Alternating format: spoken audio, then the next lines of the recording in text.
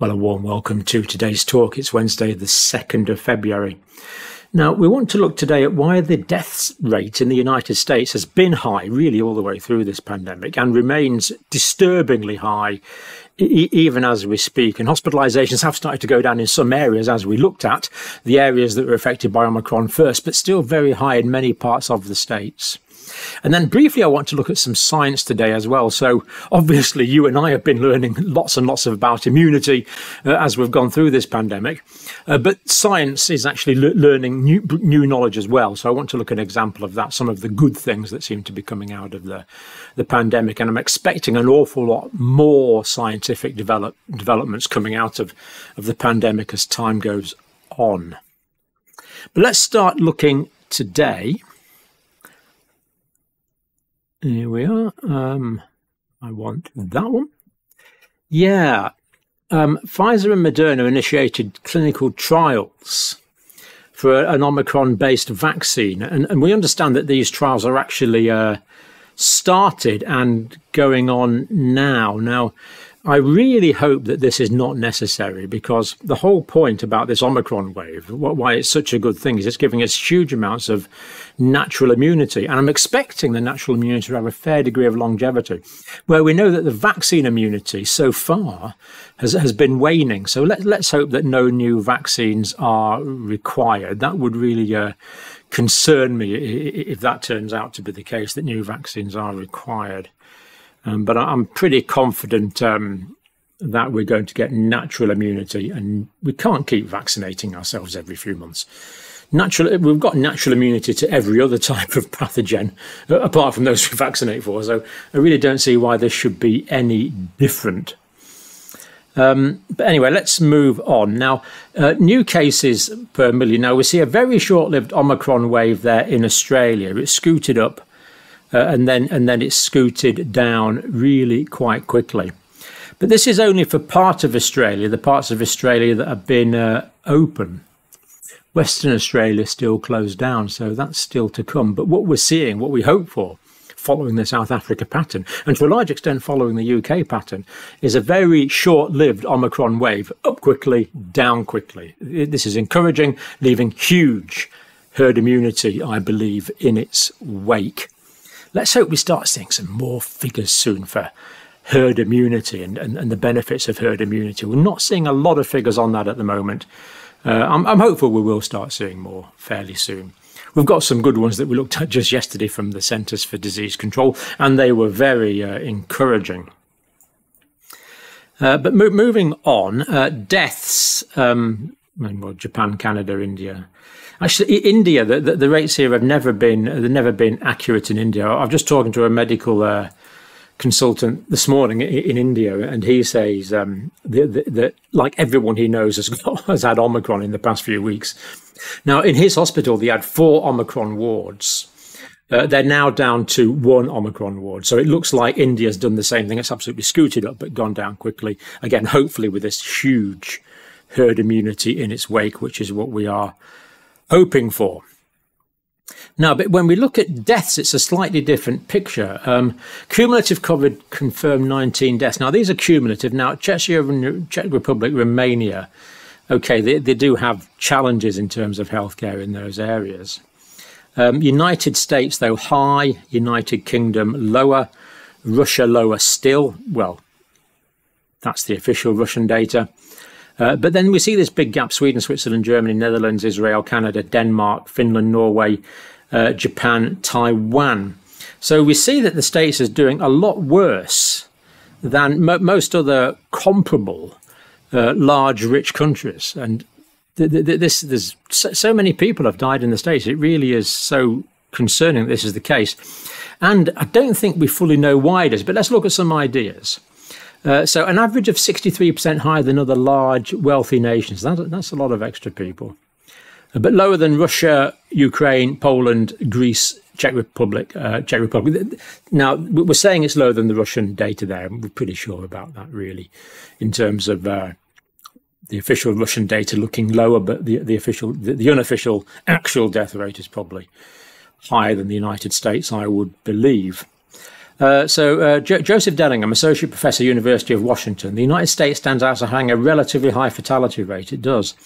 There's, there's been more loss than anyone wanted or anticipated. That's true. We didn't anticipate as many deaths, I don't think. No one anticipated as many deaths. I, I remember way back in oh, 2020, the chief scientific officer and the chief medical officer thinking that we might, might have 20,000 deaths in this pandemic. And sadly, it's turned out to be a lot more than that. And this is despite Omicron and vaccination. So in the in the states, of course, um, there's been lots of um, immunity generated as a result of vaccination, and a lot because of Omicron. But despite this, still the very high death rates, unfortunately, in the states. Uh, what are the factors here? lower vaccination rates and boosters in vulnerable people, because of course it's the vulnerable people that go into hospital with comorbidities, as we know. Lower vaccination rates in boosters, most vulnerable people. Unvaccinated people make up the majority of hospitalizations. That is still true. Waning protection, because the United States vaccinated quite a lot of people at quite an early stage. So that is um, waning, and we know that the protection wanes, unfortunately, from our uh, high tech vaccines uh, unboosted, uh, uninfected older people. So here we have the two, the two, the two factors because we know that the natural immunity protects against severe disease and death. We know that the vaccination does. And we believe the natural immunity is even better from the recent CDC data. But of course, some older vulnerable people have had neither and have not been vaccinated, putting them at unfortunately significant risk.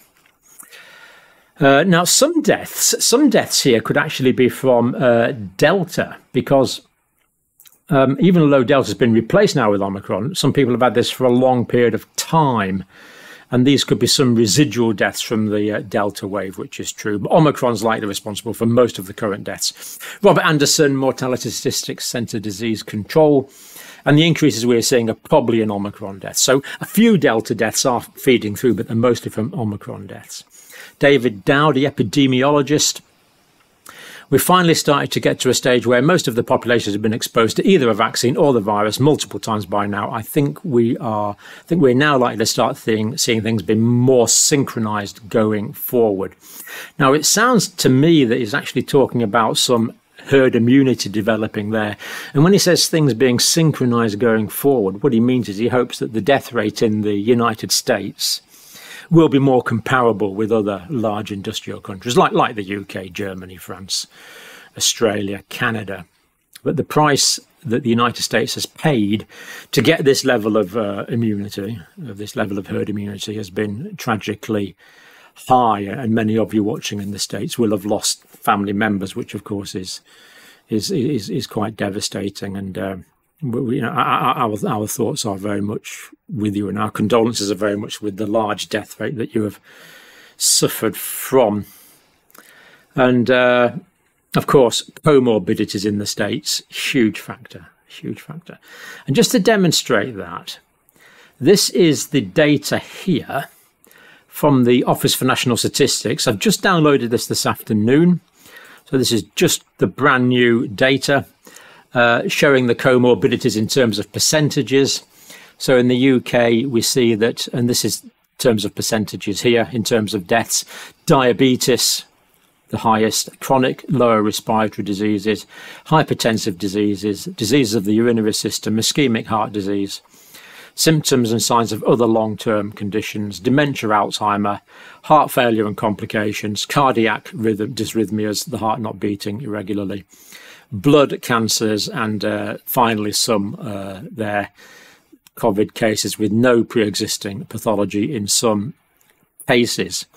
And all of these conditions, um, of course, that we know for sure uh, people have died uh, as complications of COVID with in the UK are also very high prevalent conditions in the United States obesity, hypertension, diabetes, ischemic heart disease.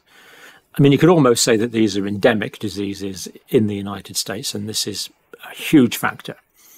Uh, so maybe maybe this is time to really start thinking about individual health, your individual health, my individual health, and of course health at, at, a community level and of course many things we've said as we've gone along in this video series has illustrated how that can be uh, assisted or at least uh, op optimized to some extent now this this last part here i'm not going to do this in too much detail but interesting nature immunology humoral arm of innate immunity now we often think of uh, the immune system in two parts there's the innate immunity uh, and there's the acquired immunity.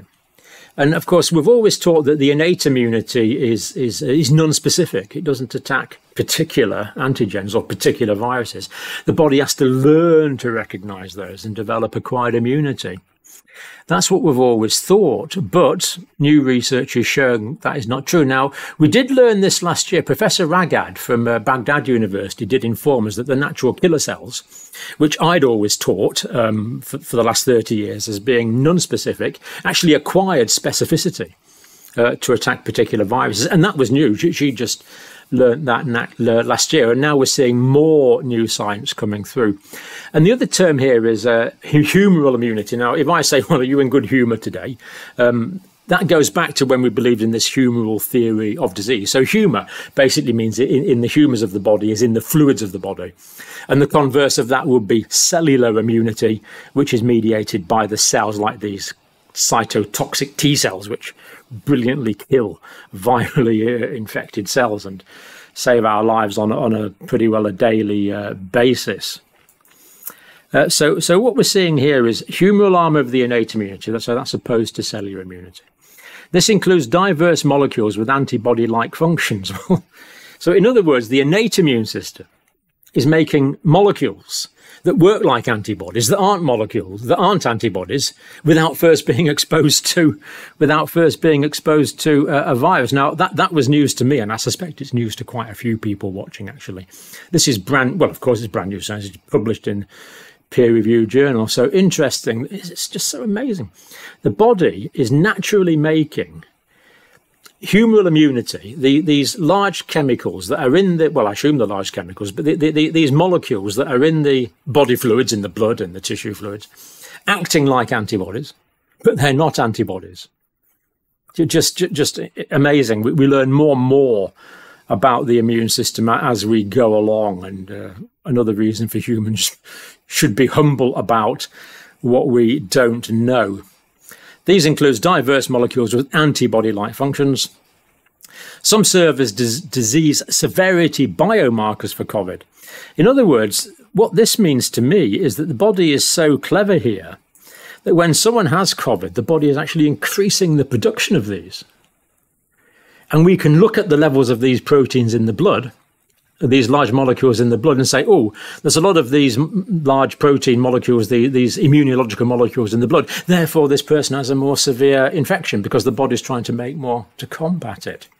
So not only are these molecules there anyway, the body's able to increase production of them during periods of viral infection, having antibody-like functions, but they're not antibodies. And I suspect for all of us watching today, that's the first time that we've learned that. I, I just learned that today myself. But just immune system just never ceases to uh, cause uh, amazement and admiration in its uh, level of complexity and uh, yeah, it's just clever, just clever. Um, humor, humor, human, humor, human, humoral fluid phase pattern recognition molecules is the name of these antibody-like molecules that are not antibodies. Of 12 tested, two acted against SARS coronavirus 2. I mean, weird. So they tested 12 and, and two acted uh, against SARS coronavirus 2. And um, they bound to the uh, viral nucleocapsid protein, like an antibody does, but it's not an antibody, and they bound to spike protein as well. Now, this is particularly interesting. This mannose binding lectin, uh, MBL, was uh, predicted to recognize the Omicron variant. So the workers looked at this and they said, oh, this should work against Omicron, which of course is really good news. Part of the reason, perhaps, part of the reason perhaps that Omicron is less severe. And also this one, uh, genetic polymorphisms at the ML MBL2 locus were associated with the disease severity. Now, what this means, this means that they've found out where these this particular large molecule is produced or where the genetic information for this large molecule is stored in the genetic genome, way inside your DNA in your chromosomes. But they've also found polymorphisms in this gene. That means there's different forms of this gene. And it makes sense that different forms of this gene would produce differing amounts of this natural defense protein. That could give rise to people that are genetically predisposed to getting severe uh, SARS coronavirus 2 and people that are genetically largely protected against SARS coronavirus 2. And this could be another reason why some people tragically have died, where other people get completely uh, asymptomatic infection. So that was, uh, I thought that was quite, uh, quite interesting. Now, just to finish off, just going a few of your comments today. Uh, Kerala, uh, getting over Omicron six days ago, uh, honestly, honestly relieved to get this variant, fully vaccinated, missed my booster because I was showing symptoms. So I got a natural booster instead. Uh, I have some horrible colds before. This was an extremely mild version of that. Worst part was the four day headache, which a lot of you are reporting. Uh, Lola, I got diagnosed with my kids five days ago. I feel so tired, got headache, lightheaded, and cough. Uh, it feels long but not painful. One of my sons has nothing, and the other is coughing a little, four and five year olds. So, so pleased to hear, uh, Lola, that um, the children are are doing the children are doing well, and that the children had mild disease. Um, still need to take medical opinions, of course, if you possibly can get it when the children get sick. Got to be so careful with children. But, but, but good, good, news, good, good news there from from uh, from, from Lola, which I'm delighted to hear. Um, James, uh, my, my wife uh, and I went through this the week after Christmas. Was more than just mild for us. I think he means it was wasn't mild. It was a bit worse than mild, although not unlike just a very bad cold. However, I lost my sense of smell for a few days. Not sure we didn't get Delta. Good point, James. It could have been at that time.